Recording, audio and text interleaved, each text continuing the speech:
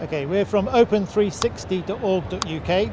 We personalise shopping, allowing people, your customers, to walk into your store and to be able to be personalised with offers, promotions, activities. We also have the ability for you to allow them to pay using their phone without cash or card.